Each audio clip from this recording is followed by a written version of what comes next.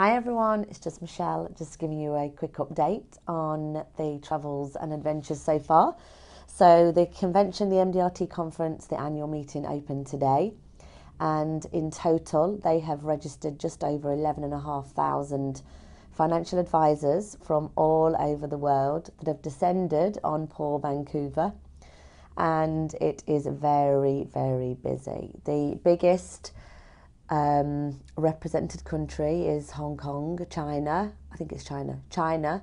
And I think they said they've sold over 6,000 tickets. So it's a massive, massive meeting.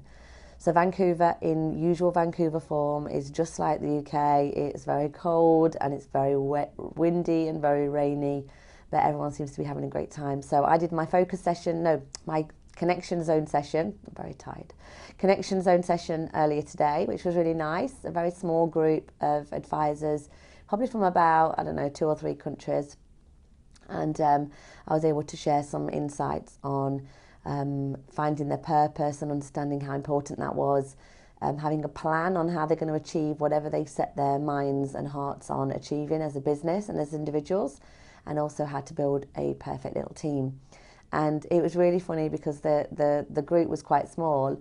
Um, but I had a little, probably half of the group afterwards were queuing to have a conversation with me to try and find out a bit more. So that's always really positive and a nice thing for obviously for, for me as a speaker to to um, experience. So day off tomorrow from speaking um, and back into doing my focus session at, uh, on Tuesday.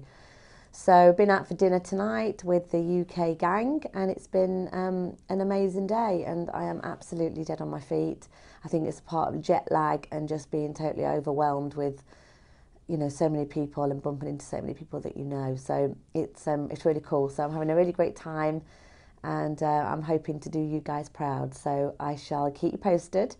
I'm gonna get some sleep, and I'll catch you soon. Bye.